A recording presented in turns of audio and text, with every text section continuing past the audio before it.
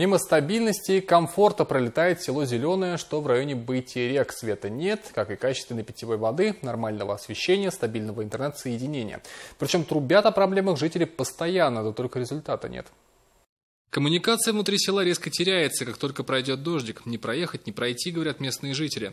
В нашем селе бездорожье, по улице не пройдешь, если дождь. Даже за продуктами не съездишь, всюду сплошное болото. Любая непогода, и мы лишаемся коммуникации.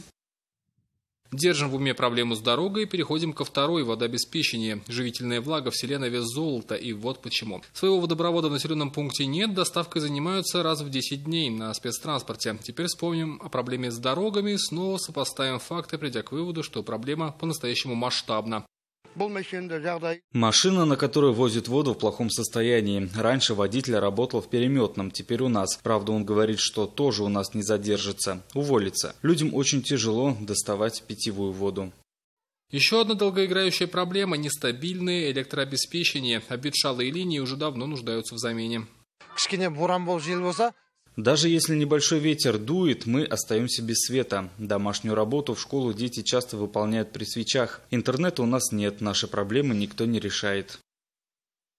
Проблем в ворох вопроса лишь два. Как и когда их намерены решать? Для этого мы обратились к местным исполнительным органам.